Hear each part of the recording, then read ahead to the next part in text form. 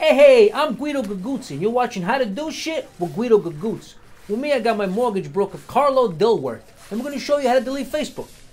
All right, Guido, are you sure you want to do this? Absolutely. I'm so sick and tired of seeing photos of other people's kids. I can barely tolerate my own kids. I gotta look at yours. Okay, so what you're gonna do is go into your settings right yeah, here. Yeah, that being said, I do like it when somebody posts something funny, and then I share it as my own idea. It feels good. I don't think you're supposed to. Do Then again, wishing everybody happy birthday, that's a full-time job. I can't keep up. I can't have it. Okay, so what you're gonna do is go into your settings right here. But I do love the interface, though. The blue and white colors are very excellent on the eye, so, you know.